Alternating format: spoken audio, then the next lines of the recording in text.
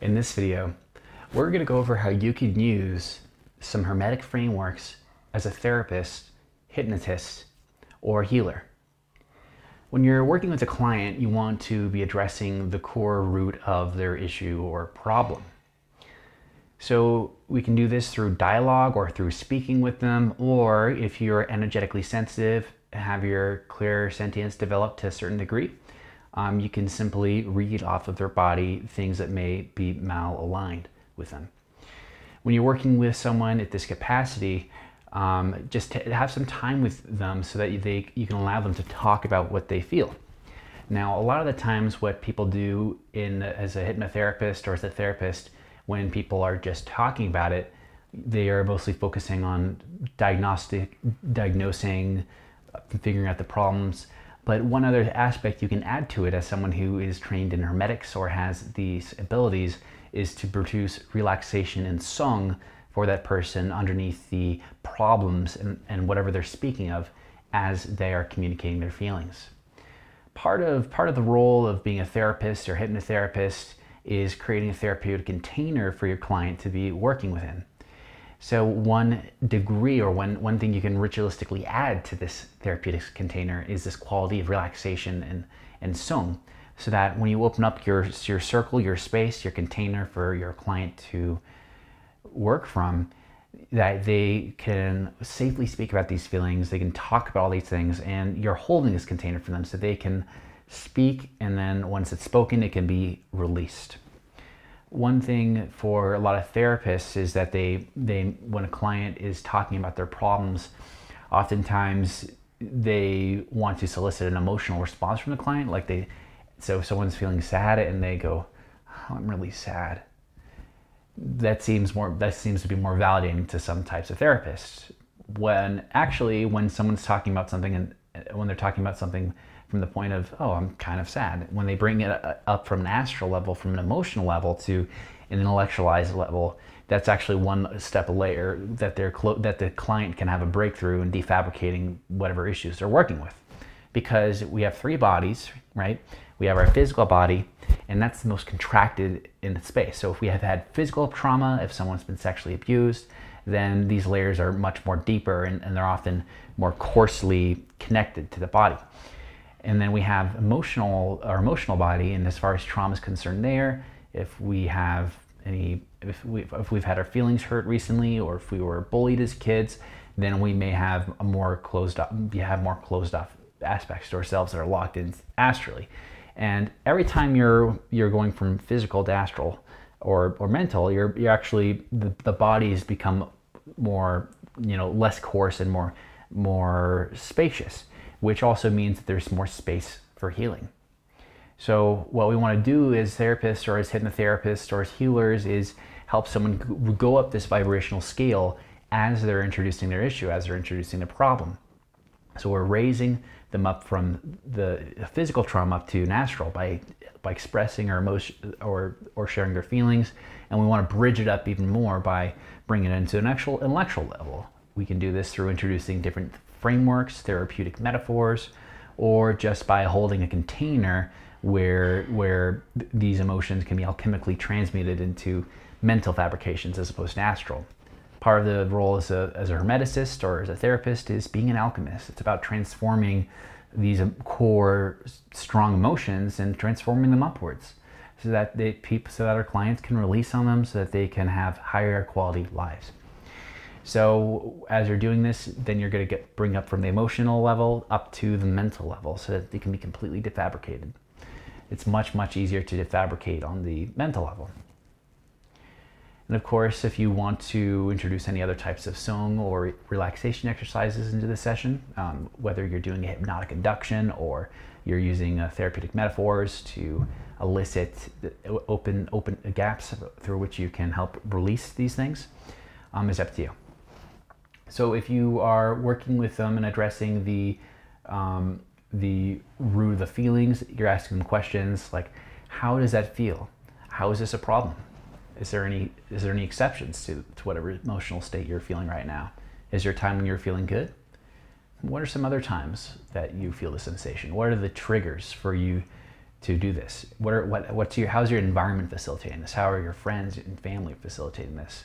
What do you do when you first wake up in the morning? All, all these types of questions can help break down, defabricate their lifestyle basically. And um, at the at the root of many people's problems are their lifestyle. If people are doing drugs, if they're if they have sexual issues, then then the more intellectually they can interact with them, the more they can defabricate the the addictions that are unconscious.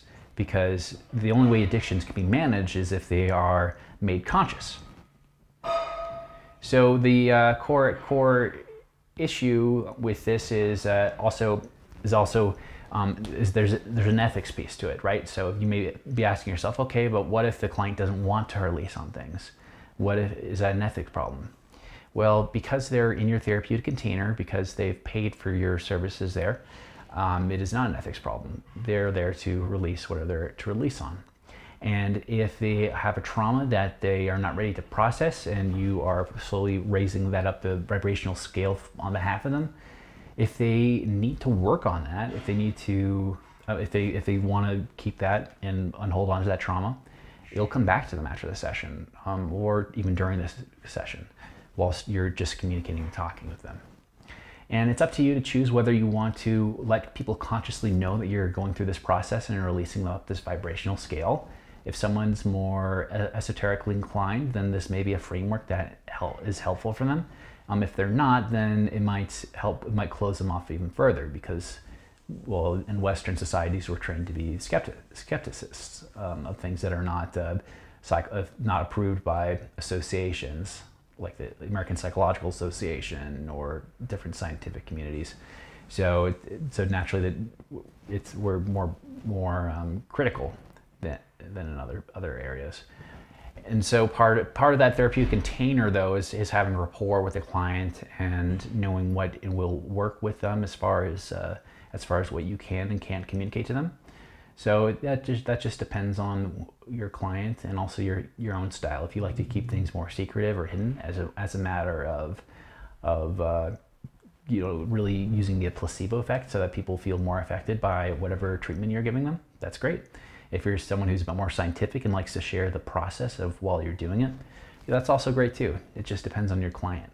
If you go to a restaurant maybe maybe a small portion of people who go to the restaurant are curious about what happens behind the kitchen, how the food, food's prepared, how long it's been in the refrigerator before being done, and how long do you cook it for, in what sequence.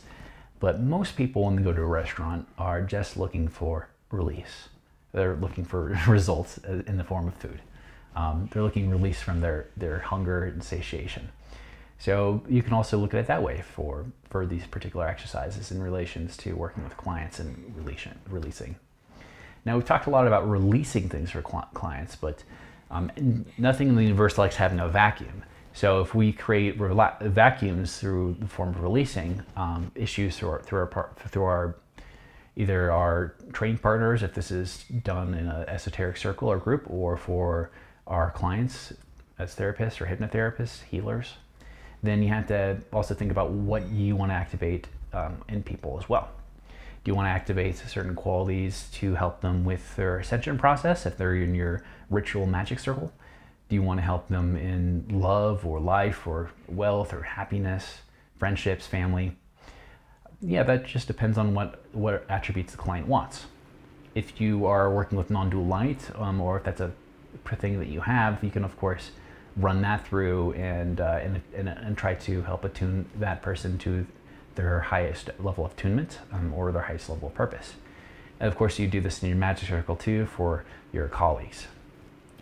So if you, uh, if you look at someone above someone's crown and you imagine all the good qualities that they have instead of focusing on their bad qualities, um, focusing on their good qualities, you can then amplify those good qualities and allow those to become stronger a lot of the times therapists are trained to discern and look for what's wrong in people and what's what wrong qualities are there. And of course, you need to be able to be in tune with that because in order to make effect change in something, you have to be in resonance with it or you have to be able to tune into it.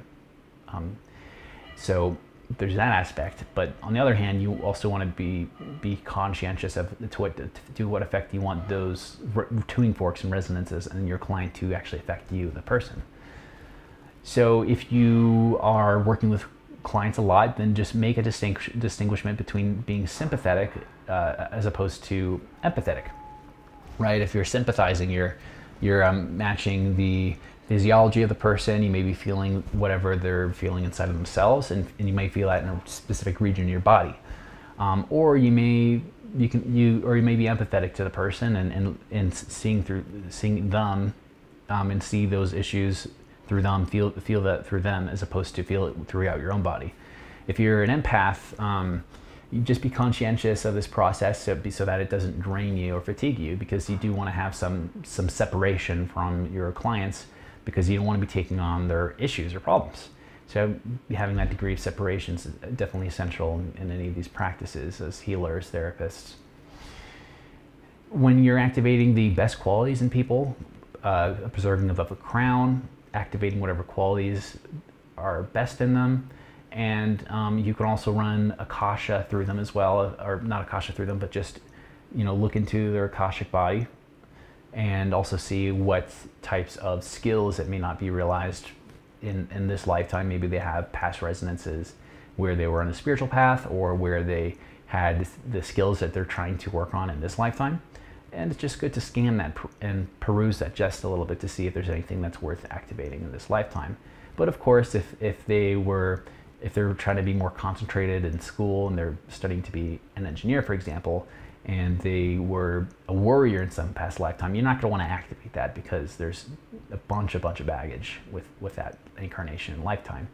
So just be conscientious as to what you activate and just understand that, that it's tied with other things in their past lives if you wish to do this with your clients. And of course, you, it's up to you, where you whether you conscientiously share this with your clients, whether you're doing this process, or if you're just allowing these things to come up naturally. Um, just depends on the level of openness of the client you're working with. If you're a hypnotherapist, it's more, more, more than likely that your client is on a, on a scale to openness to clo- being closed, is that they already have a predisposition to being open. Of course, you'll there's always exceptions to this, but um, as a as a normal therapist, as someone who sees people, you you may have a, a, a wider track of people who are open or really close with certain uh, certain topics and issues. Part of what you put out there as a therapist on your Psychology Today profile or your personal website or through your referrals will kind of dictate the level of openness of people you're working with. And of course, it's case by case. Thank you for your time. Let me know if you have any questions or you'd like any clarifications about this subject, and have a wonderful day.